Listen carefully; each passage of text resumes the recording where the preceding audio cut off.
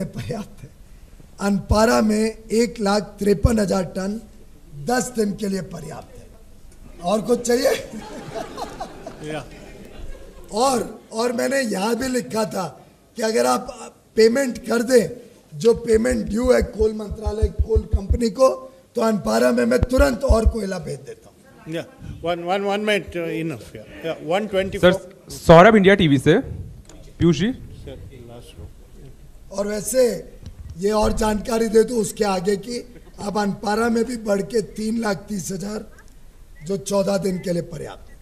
तो कोई भी प्लांट ऐसा नहीं है जहाँ पे तकलीफ़ है। पर्याप्त मात्रा में बिजली बुंदेलखंड को मिल सकती है। कृपया करके आप वहाँ पे अ, पत्रकार बंधु वहाँ पे ये विषय को उजागर करें और राज्य सरकार को कहें कि वो बिजली खरीदें Yeah, last row. one Piyush ji Saurabh India TV से। सर आपने अपने मंत्रालय के बारे में इतनी अच्छी अच्छी बातें बताई लेकिन दो मंत्री अलग बयानों में फंस गए हैं।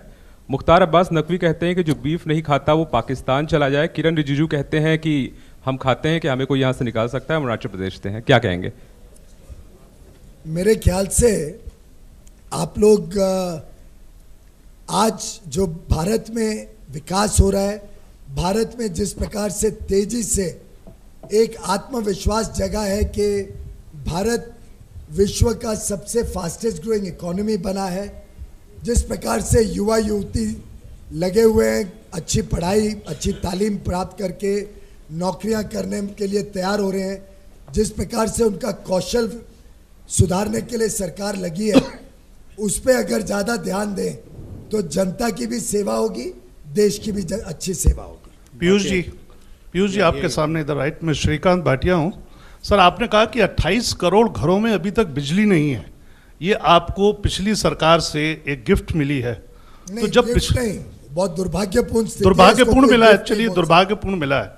तो पिछले एक साल में आप कितने सक्षम हो पाए कि 28 करोड़ की संख्या को आप कम कर पाए हैं? और अगले एक साल में इस संख्या को और कितना कम कर पाएँगे? आप ऑब्वियसली ये समझेंगे कि ट्रांसमिशन और डिस्ट्रीब्यूशन ये एक काम ऐसा है कि जो ओवरनाइट नहीं हो सकता है। लाइनें खींचनी पड़ती है उसके लिए ज़मीन लगती है और ये अधिकतर लोग गांव-गांव में बसे हुए हैं। गाँव तक ज़मीन पहुँचाने के लिए गरीब किसानों के खेत में जमी बिजली पहुँचाने के लिए वहाँ की ज़मीन की ज़रूरत पड़ेगी। ये सब जब स्थिति देख के ये ध्यान में आया कि रूरल इलेक्ट्रिफिकेशन इतने वर्षों तक इतना इतना कमज़ोर क्यों रहा है?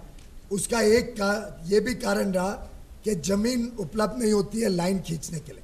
सबसे अधिक मेरे पास लोकल कंप्लेंट्स आती है कि भाई ट्रांसमिशन लाइन मेरी ज़मीन से मत खींचिए, और किसी की ज़मीन से खींचिए। तो इस प्रकार से तो बिजली पहुँचाने में तकलीफ़ होगी। इसीलिए बहुत सोच समझ के रूरल इलेक्ट्रिफिकेशन को बढ़ावा देने के लिए सिंचाई को बढ़ावा देने के लिए हमने वो कानून लाए थे। दुर्भाग्य से विपक्षी दल नहीं चाहते हैं कि इस देश की गरीब जनता को बिजली मिले।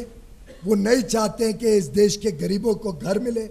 वो नहीं चाहते हैं कि देश के खेत खेत तक सड़क पहुँचे, जिससे उनके उत्पादन को अच्छी तरीके से विश्व स्तर पे हम बेच के उनको सही दाम मिल सके। तो और मैं समझता हूँ ये पत्रकारों की भी ज़िम्मेदारी है कि इसको अच्छे तरीके से समझें।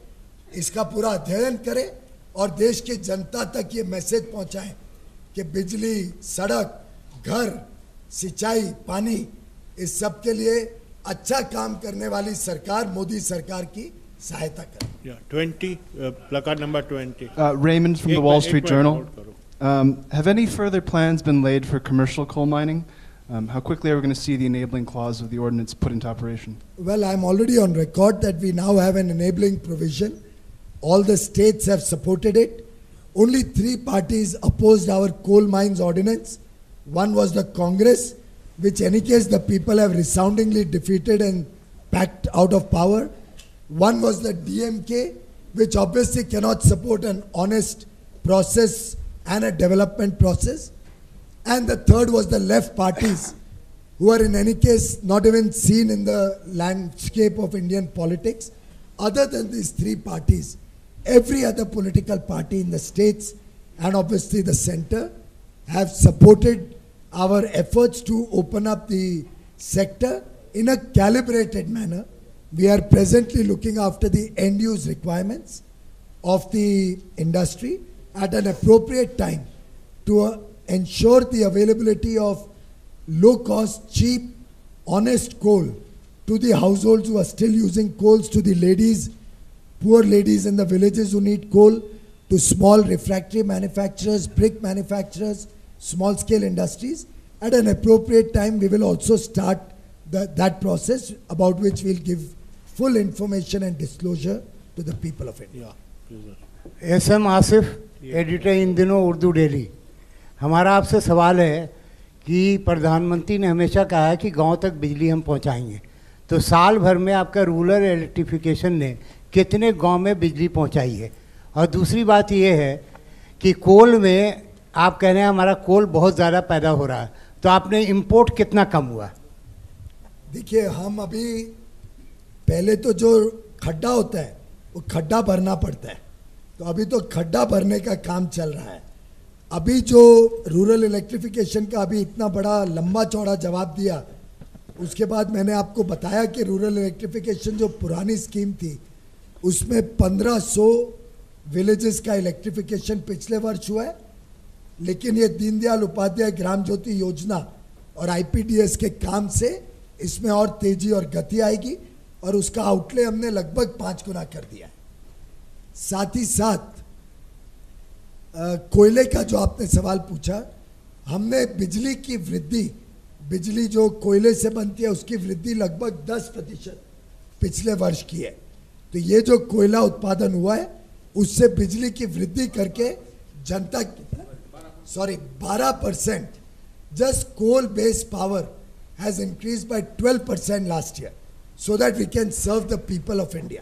हम गरीबों तक बिजली पहुंचाना चाहते हैं हम डीजल जनरेटर मुक्त बनाना चाहते हैं और जब वृद्धि होगी तो पर्याप्त बिजली होने के बाद कोयले का इंपोर्ट भी कम होगा या नंबर Sir.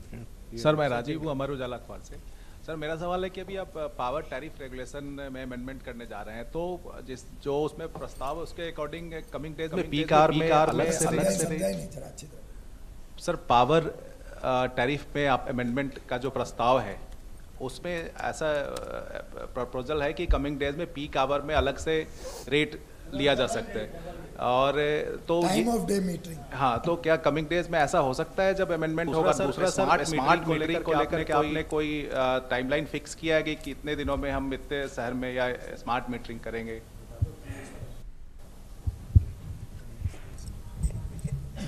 टैरिफ पॉलिसी में की आप बात कर रहे हैं उसमें हम अमेंडमेंट कर रहे हैं और उस कई सारे उसमें प्रस्ताव हैं। सब- सभी प्रस्तावों के बारे में मैं नहीं जाना चाहता हूँ काफ़ी समय लगेगा उसमें लेकिन वो हमने सभी स्टेट्स को कंसल्ट करके सभी स्टेक होल्डर्स को कंसल्ट करके तैयार किया है।